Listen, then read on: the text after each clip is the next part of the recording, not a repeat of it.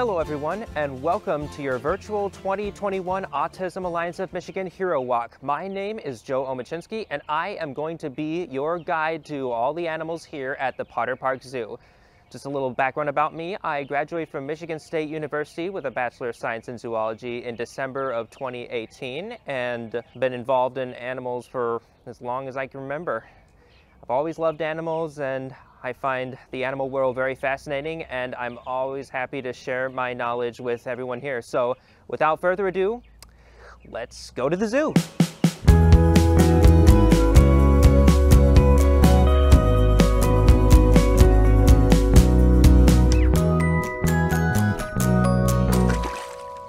Right, so our first stop of the day is um, the North American river otter habitat. Here you will see um, our the three river otters that are out and about. We've got Mom Nikiki and her two pups.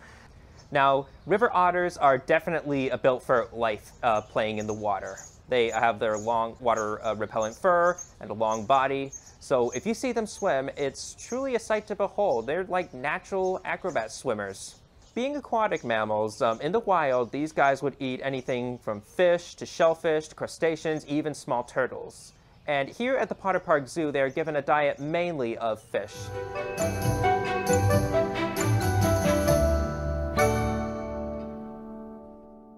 These next animals are quite possibly one of my favorite birds in the world.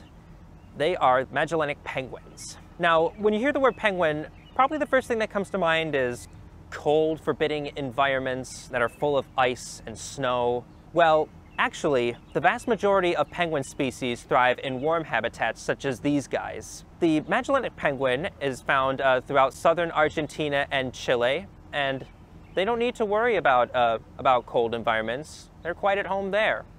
Now, with all marine bird species, these guys primarily feed on fish. Here at the Potter Park Zoo, they're given um, a special kind of fish called capelin every day. And when they eat fish, they actually don't need to chew it. They've got a special forked tongue that will immediately um, grab the fish and then uh, prevent it from ever trying to escape its beak.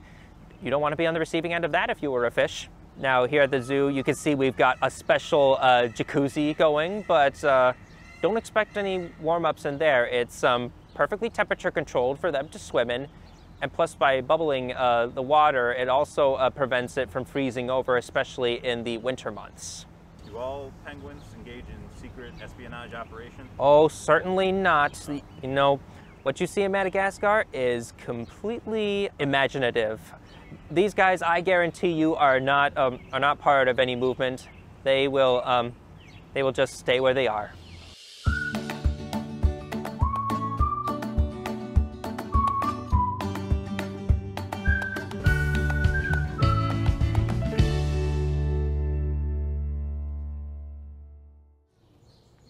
Welcome to the farm, everybody. And you're about to meet some creatures that I consider the greatest of all time.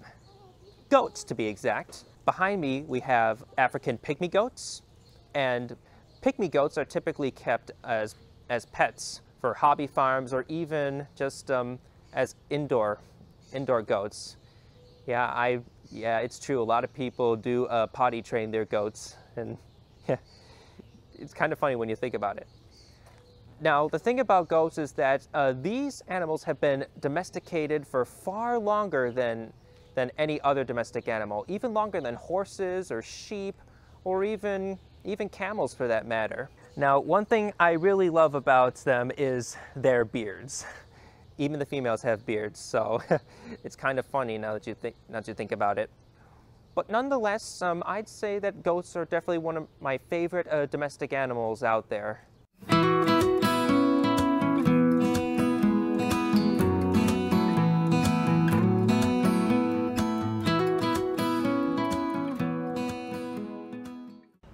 Before I talk about this next animal, uh, please excuse the noise in the background. Construction is going on at the zoo and a lot of new improvements are coming.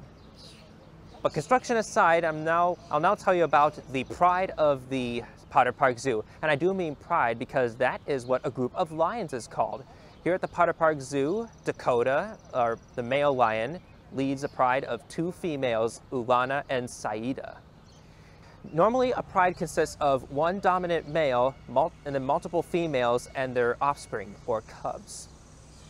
Now, when it comes to getting food, that's the job of the females. The, the male lion's job is just more, more or less ceremonial. He just sticks around and defends the pride while the females do all the work. I must admit, it's not exactly uh, the best balance of power, but you know, if it works for a lion, then whatever. Another thing about lions is that about 80% of the time their day is spent resting. That is to conserve any energy, uh, any energy that they may have.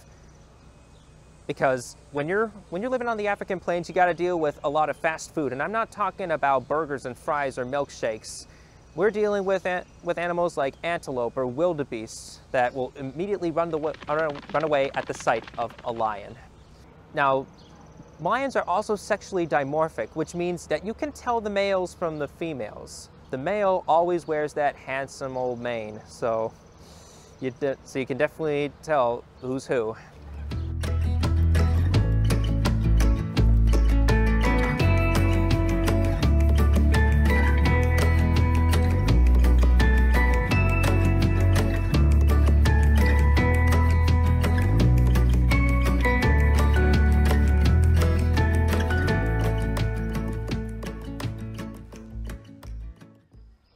These next animals are rear oh, sorry.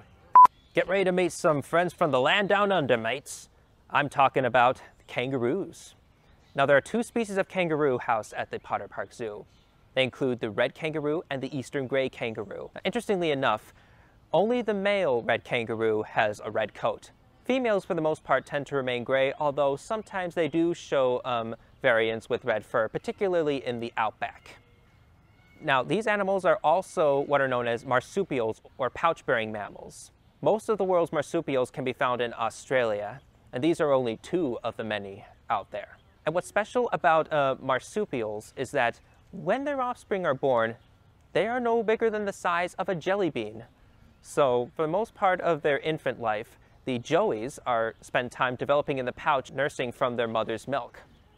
Now, by the age of six months, they are fully developed and start venturing out of the pouch. Two or three months afterwards, they will keep venturing in and out of the pouch until mom says, hey, enough is enough, time to move on your own.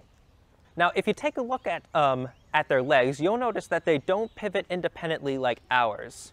That is why you see them hopping a lot, because that's the only way that they are able to get around. They cannot, they cannot move their legs much like other mammals can. So hopping's the best way to do it. Now you'll also notice sometimes that they will stand with their tail on the ground. The tail is also pretty useful as it is very strong and serves as almost like a third leg. But kangaroos are also famous for is boxing. Now boxing is a behavior that normally occurs, occurs with males. Most of the time that is when they're either fighting for mates or fighting for dominance or even defending themselves from other creatures. And if you've seen a kangaroo kick, well, it's a pretty awesome sight they will stand on their tails and actually lift their legs off the ground and then make a large kick. In fact, that kick is so strong that it is able to snap a human back. So you definitely don't want to be there on the receiving end of one of those.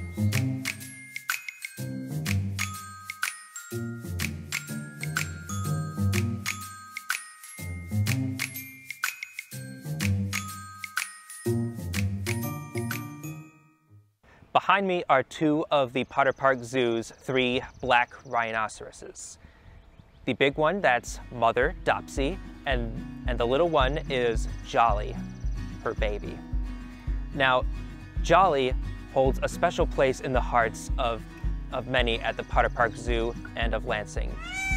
He was the first black rhino to ever be born in the Potter Park Zoo's 100-year history. On Christmas Eve of 2019, Jolly came into this world a victory in the conservation efforts of black rhinos. Now, what's also special is that Potter Park Zoo is currently the only accredited zoo in Michigan that breeds black rhinos. So it's very important that uh, we have these rhinos here as they are going to be an important step in conserving this critically endangered species. Now the biggest, um, the biggest threat to rhinos is um, poaching for the ivory trade.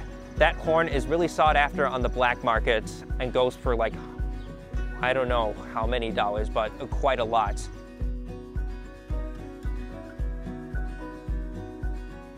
But it's really sad to know that um, that this species is in decline mainly because of mainly because of that poaching. Their horns are made out of a substance called keratin, which also makes up our hair and fingernails. They're primarily used to defend against threats. And that's interesting too because rhinos are one of the few animals in the world that don't have natural predators. That horn is scary enough to ward off even the most fierce cats. And another thing, another thing that I'm going to note is that um, Jolly is eventually going to be moving to another zoo later this fall to meet to meet another young female, and hopefully in the future we might see Jolly become a father himself. We'll definitely keep an eye open for that.